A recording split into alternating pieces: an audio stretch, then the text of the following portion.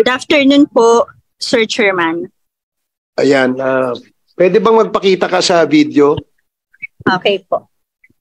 Ang ganda ng boses ni Kapitana eh. Good afternoon po. Ayan, ay napakaganda pala ni Kapitan ngayon hindi ka nagpapakita. Oh. Bago na bago ng bagong kapitan na. Ah, okay. Kap, ah, Yes po. Ah, nag-attend ka dito sa hearing namin. Ah, yes po. Gusto lang namin maliwanagan. Ikaw ba yung ah, naging witness in behalf of the barangay during the inventory nitong ah, October 8, 2022? Yes po, Sir Chairman. Okay. Ah, pwede bang ah, malaman anong oras ka pumunta doon? Ah, mga around 4, not sure lang po sa exact hour, pero between 4.30 to 5 p.m. po. Ah, sinong sinong tumawag sa inyo? Um, may tiga sa amin po na, actually wala po kasi ako nun sa barangay that time. Pero may tumawag po sa akin na constituent ko na meron daw po kasing nagkakahulihan na ah, drug operation daw po sa Abad Santos. May nagpunta daw po kasing pulis sa barangay na ah, sinabi po na merong operation daw po. Then nung pag-uwi ko po, ah, dumiretso po ako agad dun sa Abad Santos para i-check po yung situation po doon. Okay. Ah, pagdating mo doon, anong nakita mo? Ah, bali madami pong pulis akong nakita doon. Then may isang pulis po na nagsabi sa akin na nag-conduct po sila ng ah, bypass operation. Then ah, ongoing daw po sa loob. Kilala Na- mo ba kung sino yung ah, nag, nagsabi sa'yo na merong bust operation? Natatanda yung pangalan? Si Sir Susongko po. Ah, so, so Songko. Ah, yes po. Mga anong oras yon? Mga between 4.30 to 5 p.m. po. So si Sosongko nando doon ng mga ganong oras. Apo. Okay, at siya yung humarap sa'yo at nagsabi na merong hindi ka pa pinapasok sa loob ni Sosongko. Ah, hindi po muna ako pumasok kasi medyo natakot po kasi akong pumasok dahil baka po kasi magkagulo po eh hindi ko pa po din nakikita yung sitwasyon po sa loob. Okay, um, so between 4 to 5 dumating ka doon. Anong oras yung nag-umpisa yung inventory? Yung pag- Um, mga siguro medyo maggagabi na po yun eh. Bali inantay po kasi makumpleto yung kasi in-explain naman po na kailangan daw pong elected official, media, tsaka parang DOJ representative daw po. Mhm. Pagkadating po nung DOJ representative, nag-start na po kami. Ah, okay, ah, kilala mo kung sino yung DOJ representative? Um, last name po si Fiscal Revilla. okay, yung ah, may taga-media rin na dumating doon. Opo, si Sir Jerome. So, yun, nung dumating sila, doon ka lang nakapasok sa loob.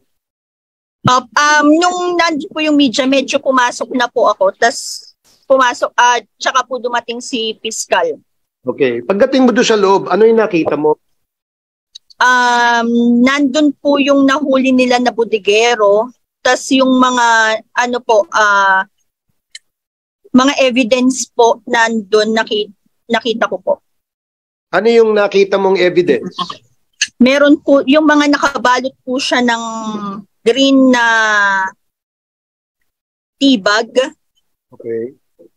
Tapos, ah, Saan nung nag- nakalagay? Saan nakalagay yung mga tibag?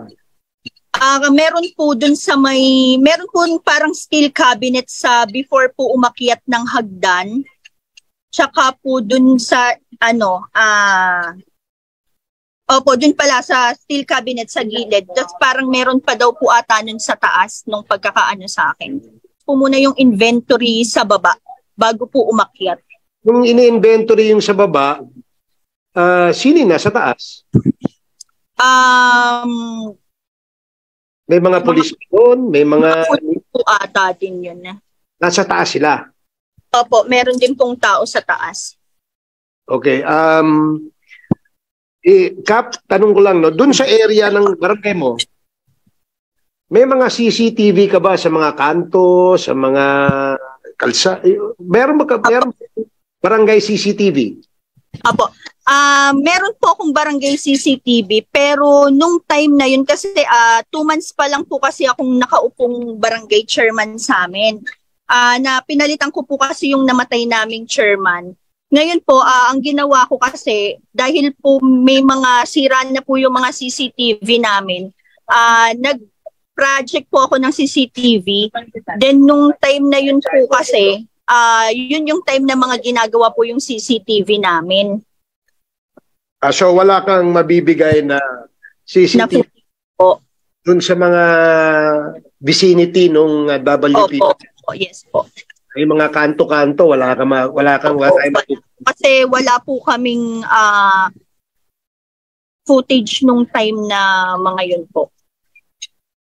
Okay. Um, salamat uh, Kapa. Yes po. Baka kasama ko ay may mga katanungan, pwede ho kayo magtanong.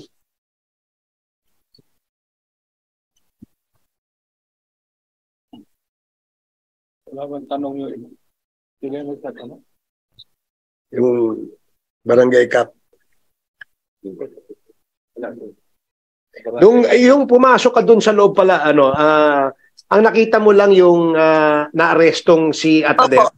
Tini Atadero po. Yes po. Oh, si Ney Atedero. Ay nung bago ka maging kapitan, ano ka no? Ah, kagawad ka. is- Po, yes, first Ah, kagawad. Oh, y- wala ka wala ba kayong information kung ano meron diyan sa WBD? Marami ba kayong nakikitang umaakit Oh, diyan? year 2029 at 2021 October 19 humingi na po ng certificate for closure sa amin yung WPD then nung time po ng pandemic ah, nung nagbibigay po kami ng ayuda nakasarado po siya kasi ah, bahay-bahay po kinakatok namin yun para po mag-distribute ng mga ayuda pero wala na pong humaharap sa amin that time po Mm. So wala nang ano, wala nang ah, pero ikaw nung ah, Okay. Salamat ah. Hindi ko po sila constituents, ah, nangungupahan lang po sila dun sa area po. Okay, maraming salamat Kap.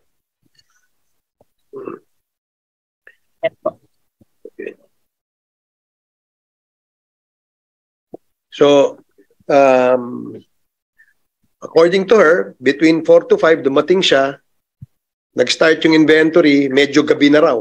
Uh, it's, it's all clear. So, uh, na-magnify ngayon yung absence of inventory during the time of the supposed arrest around 1 in the afternoon up to the time na nag-start uh, yung ating inventory according to the barangay uh, captain. Uh, so medyo malaking oras yung na maraming oras yung pwedeng um, maraming pwedeng nangyari dun sa anim na oras na yun. And in fact, isa sa mga nangyari doon na nakita nyo five days later, yung paglalagay ng mga bag dun sa coaching puti, can you identify, uh, Colonel Olonan, kung sino yung naglalagay ng bag dun sa coaching puti?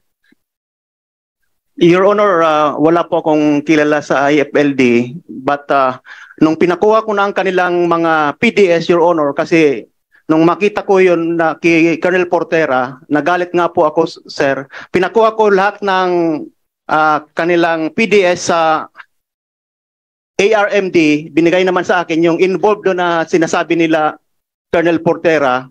So when I was invited uh, at the SITG, dalawang personnel po ang na-identify ko doon. In the person of uh, Sergeant Mananghaya and Clifton De Leon of IFLD. So yung De Leon, how do you know that they are from IFLD kung di mo sila tao? Your Honor, uh, pumunta po ako kay Colonel Portera, Your Honor. Ah, so si Colonel Portero nagsabi Uh, sa'yo. yes, Your Honor. Na- Nandito ba si Colonel Portero? Nandito, no?